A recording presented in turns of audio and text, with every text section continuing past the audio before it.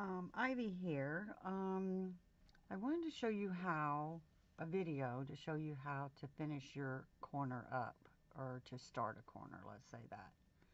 We're not going to be making this any bigger. It's 21 rows across.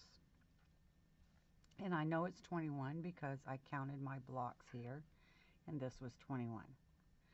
So we're not going to increase it this way anymore. We're going to start bringing it up the side.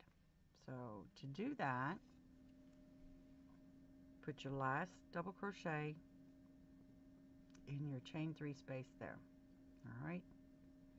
We're going to turn our work. Just turn our work over.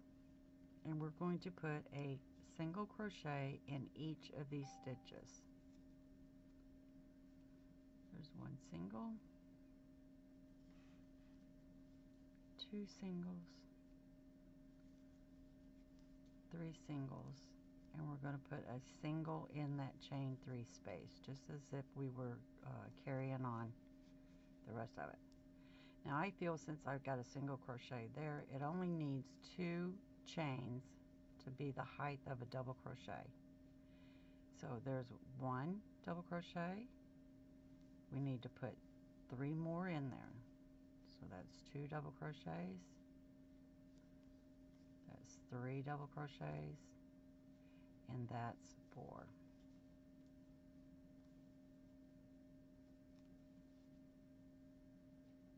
So it makes your square. So let me turn it this way.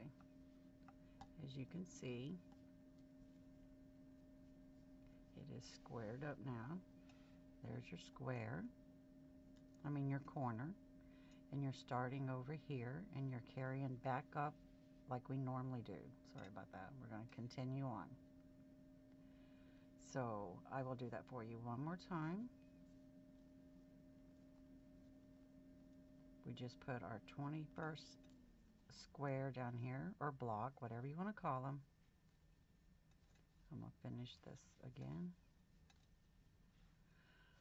All right, you're going to turn your work over and we're going to put a single crochet in each of these double crochets. So there's one, two, three, and I'm going to put the single crochet into that chain three space for four. Now you know each one of these chain three spaces you make a chain three but since we already put a single crochet in it I'm only going to put two chains on it. and then I'm going to do my three double crochets. It's two three and four. So there you go you have your corner. Squared it up. And now we're going to do our pattern going back down. I hope I explained it very well.